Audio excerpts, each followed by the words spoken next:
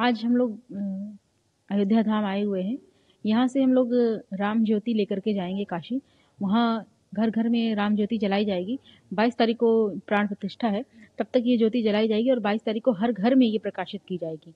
इस ज्योति के माध्यम से हम लोगों को ये संदेश देना चाहते हैं कि जो लोग आपस में नफरत की भावना को फैला रहे हैं, एक दूसरे से नफरत की का भाव रख रहे हैं, उस नफरत रूपी अंधकार को मिटाने के लिए ये राम ज्योति काम आएगी। क्योंकि हर वर्ग, हर धर्म, हर जाति, हर समुदाय, हर पंथ के लोगों को राम, प्राण प्रतिष्ठा का, महोत्सव का आनंद उठाना चाहिए और उसको महोत्सव के रूप में मनाना चाहिए, क्योंकि भगवान श्री राम जो है वो सबके पूर्वज हैं। चाहे वो भारत में रहने वाला किसी भी जाति, किसी भी धर्म, किसी भी मज़हब, किसी भी पंथ, समुदाय, विचारधारा का मानने वाला हो। इसलिए भगवान श्री राम हम सबके पूर्वज हैं, इसलिए इस महोत्सव का, को मनाया जाए और उत्साह और उल्लास के साथ मनाया जाए। हर वर्ग के लोग इसको बहुत ही उत्साह और उल्लास के साथ मनाए। मैम, जैसा कि आप मुस्लिम हैं तो किसी तरह कोई व्यवधान या कोई ऐसी कोई बात सामने तो नहीं आ रही देखिए कुछ लोग ऐसे भी हैं जी जो नफरत फैलाने का काम करते हैं और जिनको ये लगता है कि बाबर से उनका रिश्ता था। मगर हम लोगों का ये मानना है कि हमारे पूर्वज भगवान श्री राम थे। हमारा डीएनए भगवान श्री राम से मिलता है। हमारा डीएनए किसी बाबर से नहीं मिलता है। इसके पहले भी आतंकियों ने धमकी दी। हम लोग इन खोखली धमकियों से डरने वाले नहीं हैं क्योंकि ये वो कमज़ोर और कायर लोग हैं जो सिर्फ़ धमकी दे करके डरा धमका करके अपना धर्म की दुकान चलाते हैं। तो ऐसे धर्म की दुकान चलाने वालों से हम लोग डरने वाले नहीं हैं। तो अभी रामलला का आपने दर्शन भी किया होगा। जी हम लोगों ने रामलला का दर्शन किया है जी क्या कहना बहुत ही हम लोगों को खुशी है कि इतने सालों के बाद भगवान श्री राम अपने जगह पर विराजमान हो रहे हैं क्योंकि इसके पहले वो टेंट में विराजमान थे।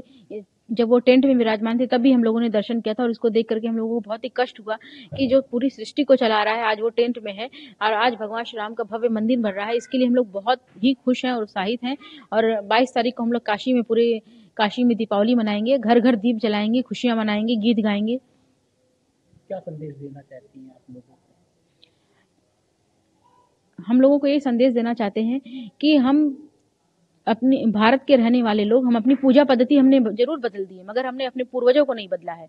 बहुत सारे इंडोनेशिया जैसा देश, जहाँ के लोग मुस्लिम हैं, होने के बावजूद, उनकी पूजा पद्धति इस्लामिक होने के बावजूद, उनका जो संस्कृति है, उनकी जो कल्चर है, उनकी जो पूर्वज हैं, वो सनातनी है, कहीं ना कहीं हिंदू हैं तो वैसे ही भारत के लोग चाहे किसी भी पूजा पद्धति को मानने वाले हों, उनके पूर्वज जो है वो सनातनी है, भगवान श्री राम है तो इसलिए अपने पूर्वजों को ना बदले। अगर अपने हम पूर्वजों को हम बदलेंगे तो हम कहीं ना कहीं अपने संस्कृति से दूर हो जाएँगे और एक वैमनस्यता का भाव जो पनपेगा वो अलग।